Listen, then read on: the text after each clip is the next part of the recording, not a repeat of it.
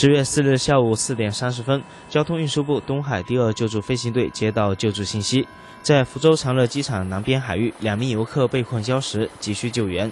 接到求助信息后，东海第二救助飞行队立即启动救助程序。救助直升机 B 七幺零幺机组于下午四点五十分从福州长乐机场起飞，赶赴出事海域。抵达指定位置后，救助直升机随即展开救援。